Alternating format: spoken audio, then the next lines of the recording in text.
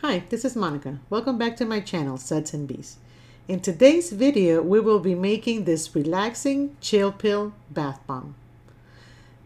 The bath bomb includes some nice colloidal oats that are soothing to the skin, as well as some gorgeous avocado oil that also is very nourishing and soothing to the skin. I've included the basic bath bomb ingredients such as baking soda and citric acid for the fizz but I've also added some SLSA and coco betaine for some bubbles and so the bath bomb floats. I also included some polysorbate 80 so the oil emulsifies nicely with the water, also avoiding any dangerous slippage. I added a little bit of Epsom salt to soothe the muscles. And I have scented the bath bomb with oat milk and honey by Nature's Garden.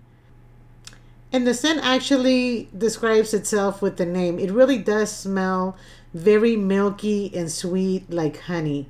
So I thought it was an appropriate pairing for this bath bomb. So come on, let's go make it.